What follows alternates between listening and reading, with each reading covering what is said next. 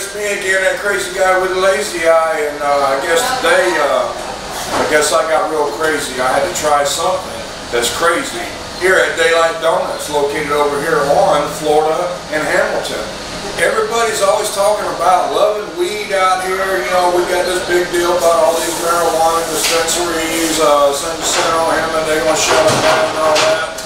You know, we hear people always cooking with weed and all that. Came up with a crazy idea. And what did you come up with? Some kind of a new burger, didn't you? It is a new burger. We call it Barely Legal burger. And the inspiration for that hamburger is, of course, the customer, like always here. Right. So this customer is a regular, and he say, I have a request because I know that you make food on request for customers.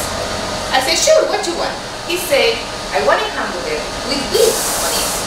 You want a hamburger with weed in it. He wants a weed burger. Exactly right. So I say, well, what kind of weed are we talking about? Marijuana? And he said, yeah, you got that right, girl. So I told him, look, much as I wanted, we cannot put weed on the, the you know, marijuana on the hamburger. But, But, but, there's always a but. always, we can play with it. So, we come out, we come out with a double cheeseburger with uh, white cheese, pepper jack cheese, and on top of that, we are putting um, a butter that is bacon infused and a bunch of fresh herbs. So we have oregano, thyme, rosemary, basil, parsley, you name it, a bunch of green herbs. So we call this hamburger barely legal hamburger.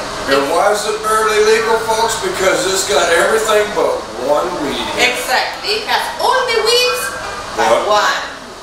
So come and try it. I think you will like it. It's a very fresh flavor. Give it a try. Try a very illegal hamburger. So folks, come on down. They're located over here at 1031 West Florida Avenue, right at the corner of Florida and Hamilton. So make sure you come on down here at Daylight Donuts. Make sure you tell that crazy guy with lazy eye and Roy King with Hemet iNews.com since.